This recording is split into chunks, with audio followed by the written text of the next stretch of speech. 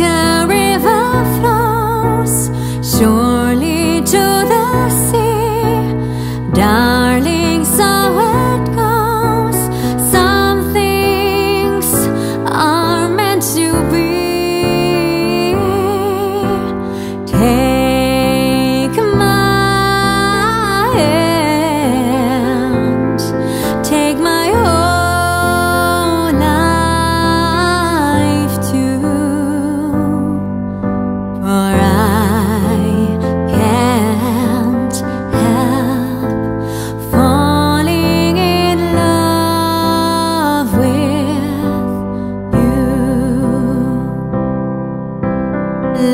with you like a